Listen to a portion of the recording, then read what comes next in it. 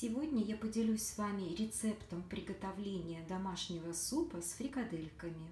Нам потребуется 500 грамм домашнего фарша, одно яйцо. Из фарша с яйцом мы будем делать фрикадельки. Две небольшие морковки, две небольшие картофелины, две небольшие луковицы. Если лук у вас крупный, достаточно будет одной луковицы – 3-4 лавровых листа, паприка молотая, кориандр молотый, соль, перец горошек я использую в мельнице и укроп. Если у вас есть свежий укроп, можете его использовать. Сегодня я буду использовать укроп сушеный. Режем морковь соломкой.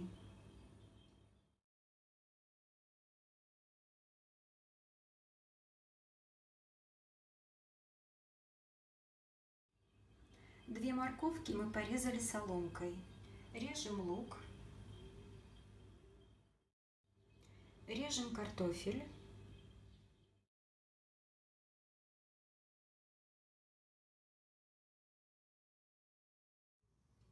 Вот такими небольшими кубиками.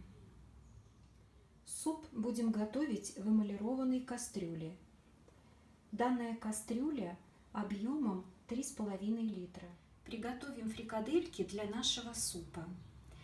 Фарш я немного посолила, сейчас это надо перемешать. Добавляем паприку и черный перец. Все перемешиваем. Добавляем в фарш яйцо и вновь все перемешиваем. Делаем небольшие фрикадельки.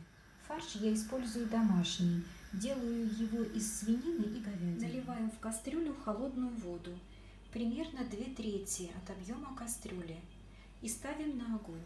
Суп с фрикадельками я варю без зажарки. Если делать зажарку для такого супа, то необходимо обжарить лук с морковью на сковороде в растительном масле, но оставить свежий лук и сверху свежую морковь для бульона. Вода в кастрюле закипела. Сейчас мы сюда добавим порезанный лук. Вода с луком закипела, и мы добавили сюда морковь. Доводим до кипения и добавляем фрикадельки. Фрикадельки перемешиваем и ждем, когда закипит вода. При закипании образуется пена. Ее убираем ложкой. Добавляем картофель и все перемешиваем. Ждем, когда закипит. И сейчас будем добавлять соль и приправы. Добавила соль, перец из мельницы. Сейчас добавлю еще кориандр а потом буду доводить по вкусу, по соли.